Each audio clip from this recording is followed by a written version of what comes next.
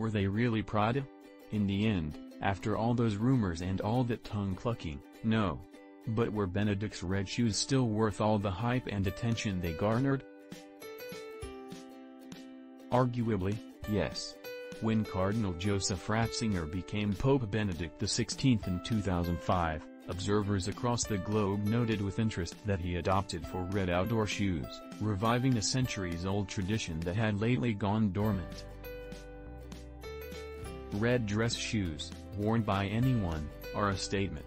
But for Pope Benedict XVI, who died Saturday at 95, the statement may have been about his relationship with the Catholic Church, and how he saw his role in it.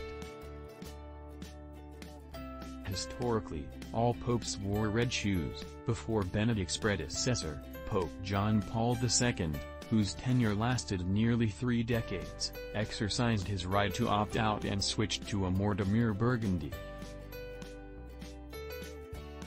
They also wore red indoor slippers, before Pope Paul VI discontinued the practice, for good, in 1963.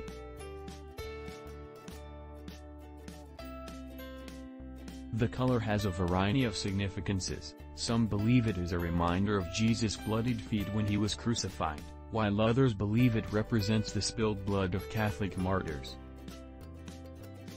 Ancient kings are said to have worn red as a symbol of status, since the dye required to make it came from rare sea snails, aristocrats and royalty continued the tradition, and some believe the church adopted the color as a way for popes to assert their equal worldly authority. When Benedict opted to revive the red shoes tradition, they were a sensation. Rocco Palmo, the Philadelphia-based editor of the Catholic news site Whispers in the Loggia, still remembers seeing them for the first time in person in 2008.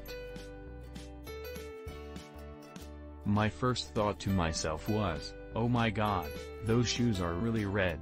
Despite having been quite familiar with them, there was something in the flesh that made them pop, he says now, with a laugh. The Prada rumor, which originated in the Italian press, Palmo says, was kind of the beginning of, you know, the internet being able to say something, regardless of the veracity of it.